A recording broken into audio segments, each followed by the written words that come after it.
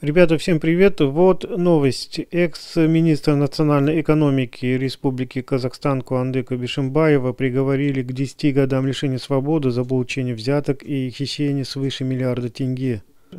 Также экс-министра лишили государственной награды Курмет и конфисковали в доход государства 60 тысяч долларов и 5,7 миллионов тенге. Приговор был вынесен в суде города Астаны.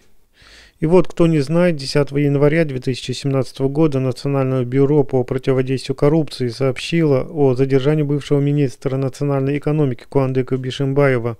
Он подозревался в неоднократном получении взяток в особо крупном размере в группе лиц по предварительному сговору.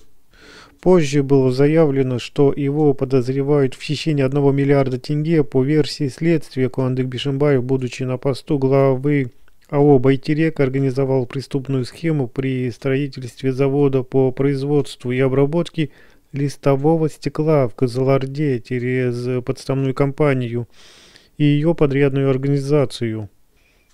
И тут сразу вопрос, мы как люди простые со своей колокольни можем судить, неужели идет борьба с коррупцией? И она приняла такой размах, или это все-таки борьба кланов, э, группировок за пост-назарбаевский период и более слабые э, личности группировки, можно сказать, э, э уходят э, под уголовку, их сажают, лишают имущества, можно сказать, обескровливают. Э, ну, так или иначе, будем наблюдать и а, делать свои выводы дальше. У кого есть что сказать, оставляйте свои комментарии под видео. Будет интересно почитать, подискутировать на эту тему. Ну и ставьте лайк и подписывайтесь на канал, кому ролик по нраву. Всем пока!